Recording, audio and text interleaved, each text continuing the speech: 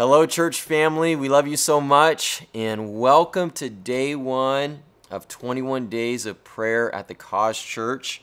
Today is Saturday, September 2nd, and we will be finishing our 21 days of prayer on Friday, September 22nd. Uh, heading into the fall, we feel like God put on our hearts pretty clearly to pray for the harvest, pray for people to come to Christ all around the world, actually not just in our own backyard, but all around the world. And so that's what these 21 days of prayer is. It's focused on interceding and praying for the harvest. You know, I think interceding and praying for salvation is the most important thing we can possibly pray for. In fact, I just talked about that recently in our, our Bold Biblical Prayer series when I preached on intercession.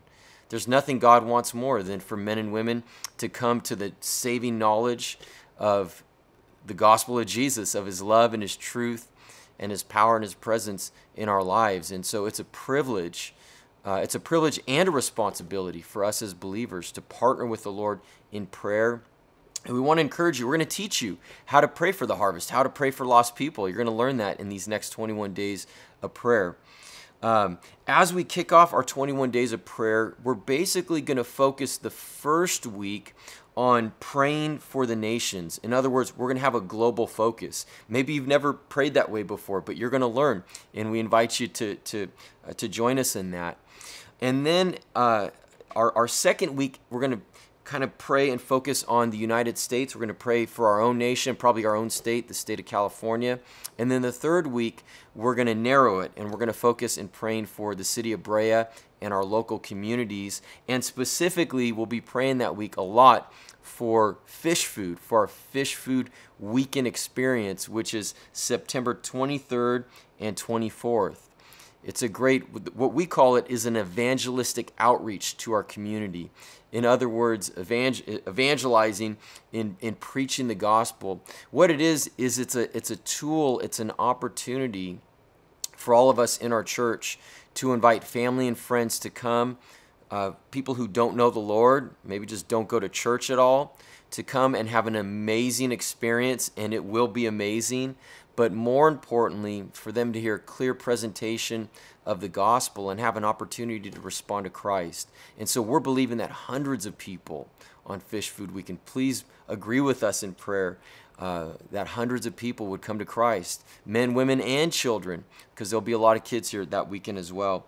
So we encourage all of our prayer partners, which is you, which is me, that's us, uh, partnering in prayer, to be led by the Holy Spirit uh, as we pray, and specifically as we pray for the nations, to be led by the Holy Spirit in choosing a specific nation or maybe nations to pray and intercede for. And of course, that's important. We're in a series right now on the Holy Spirit, so we're going to ask the Holy Spirit to help us to pray.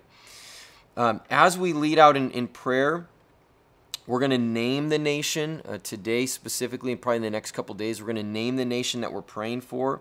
So you can insert the name of, of the nation that God puts on your heart, and uh, we're going to uh, agree to, to take back territory uh, for the kingdom of God in the name of Jesus. So every day we'll start with a prayer target, and we'll give you some prayer points. Um, we'll give you a couple of scriptures, and we will also then pray the written prayer uh, and then after that, we'll just pray led by the Holy Spirit, whoever, whichever staff member is leading on that day. And we will also probably give you an action point to, to you know, to uh, put into action, to do something with. Um, and so you're going to learn. We're going to learn a lot together about how to pray, how to intercede. Let's get started. So our prayer point for today uh, is this: our, our target is the nations. That the nations will be blessed by God and that the lost will be found as revival breaks out all around the world and in the nations. And so today we align with, we declare, we pray and speak in faith the following scriptures. Here's a few Psalm 22, verses 27 and 28. All the ends of the world shall remember and turn to the Lord, and all the families of the nations shall worship before you. For the kingdom is the Lord's, and he rules over the nations.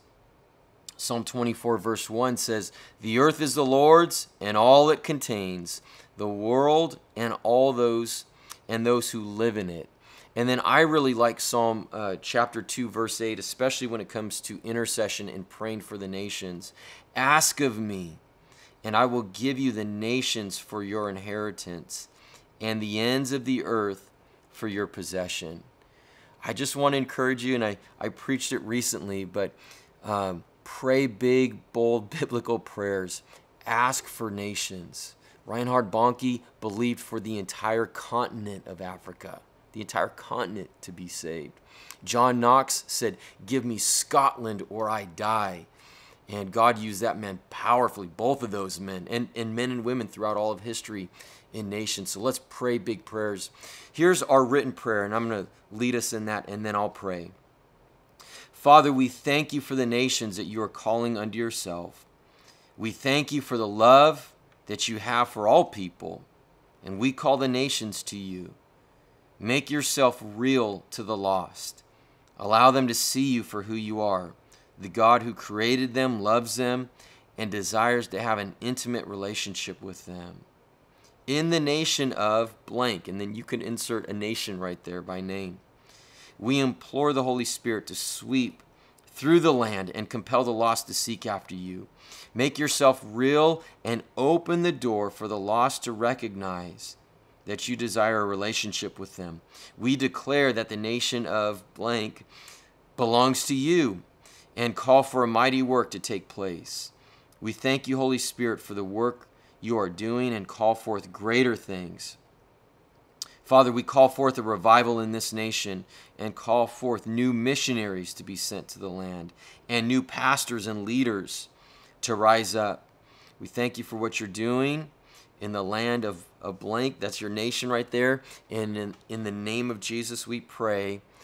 Amen. Let me now just lead in, in a prayer from my heart. So, Father, we thank you again that the earth is the Lord's, the fullness thereof. We thank you for your great love. For God so loved the world, every person in the world, that he gave his one and only Son, that whoever believes in him shall not perish but have everlasting life. Lord, I pray that that our, our faith would grow, our faith would expand in these coming days, especially this week. Some of us, maybe we haven't thought about praying for a nation by name before, or, or even nations, or even a continent. I pray, God, that you would put on our hearts individually, the Holy Spirit would speak to us about a specific nation that you want us to pray and intercede for in this time and probably for, for the rest of our lives. Lord, you said, Ask, and I will give the nations to you. We want to be men and women of faith who believe you to do great things. Lord, I feel in my heart, I feel the nation of Mexico as I was thinking about this. I feel the nation of Mexico, Lord, just south of us. Father, we pray for great revival in Mexico in the name of Jesus. Lord, that you would raise up men and women, children, young people. Father, they would have a powerful encounter with you, that you would call them, that they would be a light and a witness, Lord, in their community, in their city, in their region, and in that entire nation of Mexico. Lord, we pray that you'd continue to send missionaries to Mexico. But God, just raise up the Mexican people, Lord God. Call them, Lord God. Call young people into ministry. May they have dreams and visions from you, Lord. And Father, may there just be a, a revival in Mexico unlike anything that has ever happened before in the name of Jesus. In the name of Jesus, Lord. Guide us and lead us as we pray these next couple of days, Lord. Uh, 21 days of prayer. We commit it to you. Teach us to pray, to intercede in, di- in deeper ways that, that maybe we've never experienced before. Remind us to pray, Lord, even as we're driving, as we're getting ready, wherever we're going. God, put on our hearts to pray, to intercede. We want to partner with you in what you're doing in this world. Thank you, Lord. It's a great honor and privilege. In Jesus' name, amen. Amen. So here's your action point for today specifically. Uh, it's just to ask God to place a nation, a country on your heart. Maybe even it might be a couple of nations, it might be a continent. Uh, but ask the Lord, Lord, speak to me. Put, put a nation, put a region of the world on my heart that I can pray for daily Uh, pray for, for salvation, pray for revival, pray for the things that we just prayed for. Church, we love you. Thanks for partnering with us. This is going to be a powerful time. It always is when we pray. God bless you. We love you. We'll see you at church this weekend.